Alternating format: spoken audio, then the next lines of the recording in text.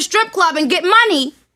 Now they can't get no money, so who's stopping bags? Cause you got grown ass fucking men showing up to where the fuck they at and where they work at. They can't feed their kids, they can't feed their fucking family. You can, they can't feed their fucking family because you mad at what another man sticking his dick inside of. Oh my gosh. You mad. You mad at a woman for what a man is doing. And that's the problem with so many black women and women, period. Oh, because she not black. Because she refers to you black women. Oh, we got the receipts for that too. FYI, she refers to black women as monkeys and roaches. roaches!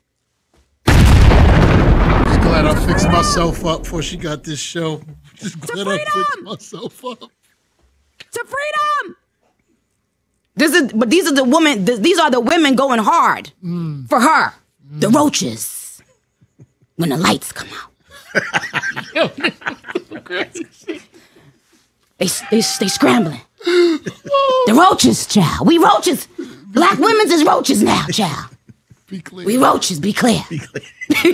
Nicki's Now, Sunday. I'm going to say no. So there are two beautiful women right now mm. who who have been accused of whoever they slept with and, you know, whatever. And now, and so they were, you know, allegedly attacked and are cut up everywhere, but not oh, but not by women, men. You sending men Well, to beat on women. I need some clarity on it. You said, say that one more time. I, I missed, like,